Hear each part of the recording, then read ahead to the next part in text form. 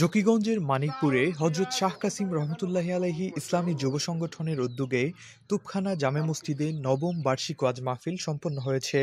সংগঠনের সাবেক সাধারণ সম্পাদক মোহাম্মদ আক্তারুজ্জামানের পরিচালনায় প্রথমে খতমে খাজেগান ও মিলাদ শরীফের মাধ্যমে মাহফিলের কার্যক্রম শুরু হয়।